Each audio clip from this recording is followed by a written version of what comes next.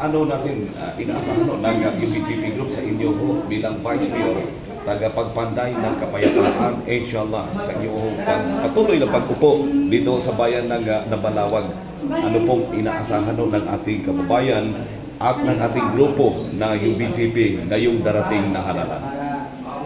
Actually, kami lang napili na Vice Mayor si Dato Said Dato dito sa Municipality of Nabalawak dahil sa kami ang na-appoint ni uh, Minister Ahmed Balawak, Ibrahim.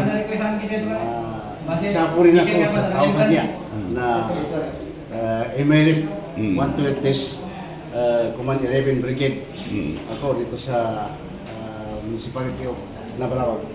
Sakali ho tuloy-tuloy ang suporta ng tao at pag-upo mo dito sa bayan ng uh, Nabalawag, ano pong unang papandayin no natin para ho sa ating bayan? lahat ng dito sa mga mga nabalawag ay alam ko sa lahat ng mga tao dito, mga civilian, paano po sila masuporta ng hanap buhay dito Oo. at saka ma-employ ang lahat ng project dito sa municipality of Nabalawag na malagay natin dito para upang mag- maganda ang pamumuhay ng mga tao dito sa pag uh, sa area ng Nabalawag. Open din ba o bukas sa kalooban ng Nabalawag sa inyong uh, bilang vice alkalde na sa atihong mga kababayan sa iba't ibang lugar na mag-invest dito ho para sa kanilang negosyo?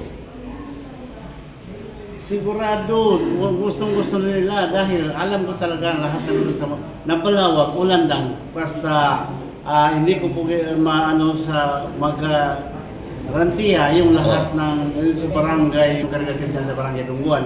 Parang suporta siya sa amin dalawa ni ah, Mayor uh, Salwang. Okay. Maraming salamat, Vice. Baka may mahalagang mensahe ka ho para sa ating kababayan. Assalamualaikum warahmatullahi wabarakatuh.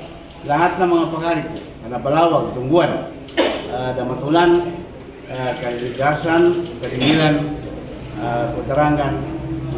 mga niya na sa akin, yung kapatid niya gagaw, uh, baka buto sa Vice Mayor, na panguning ko i-full support at tabang sa kami sa Mayor ko na, si Mayor Salwang, sa kiyog ko na sa kami po i magkapapalaga ka no, uh, uh, UBCP party siya sa uh, municipality na Napalawag. No full eh kasuporto ang mga mga tao.